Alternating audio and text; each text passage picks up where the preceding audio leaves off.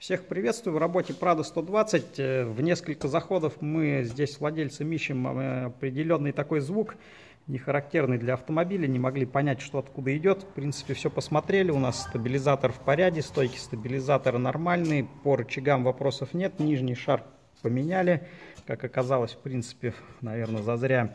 Вот. И вопрос остался у нас по верхнему шаровому. Мы все-таки определились, что он у нас скрипел, но у него не было люфта. Сейчас, получается, у него появился люфт, и на определенных неровностях у нас на автомобиле присутствует громыхание.